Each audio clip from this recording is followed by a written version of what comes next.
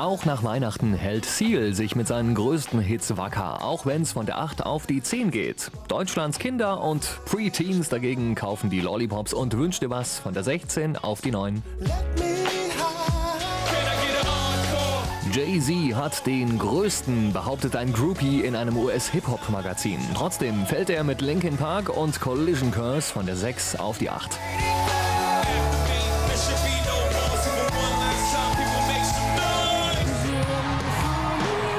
Silbermond heißen so, weil der Name so vieldeutig ist und nicht nach einem bestimmten Stil klingt. Verschwende deine Zeit, bleibt eindeutig auf Platz 7.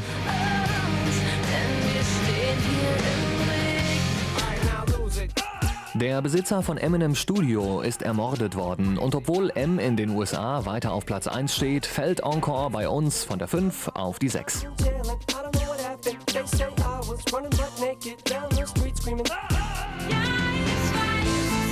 Juli stehen total auf die frühen Platten von Udo Lindenberg und fallen mit Es ist Juli in der 16. Woche von der 4 auf die 5.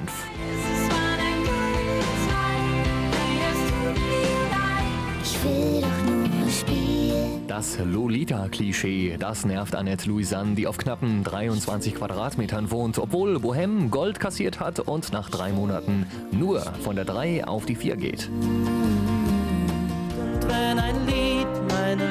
Einer der Söhne Mannheims ist verhaftet worden wegen angeblichen Handels mit Hasch und Marihuana. Neuss fällt völlig stoned von der 2 auf die 3. Und das dichteste GS.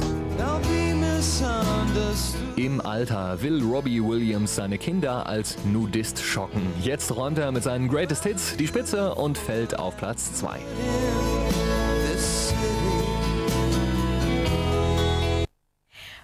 für eine Überraschung. Mit ihrem Longplayer Your Dark Side marschieren Nu Pagadi von der Null direkt auf Platz 1 durch.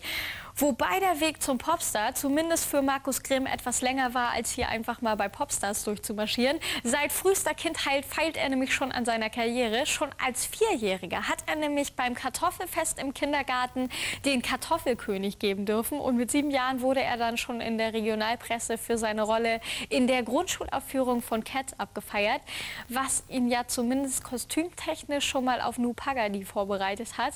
Ja, über seine Studentenrockband berichten wir dann einfach mal in der nächsten Sendung, denn wir haben keine Zeit mehr. Ich habe jetzt nämlich Feierabend. Nächste Woche bin ich dann aber wieder für euch da am Sonntag um 20 Uhr und wer da keine Zeit hat, für den spielen wir hier einfach am Montag um 14 Uhr noch mal die komplette Sendung nach. Bis denn.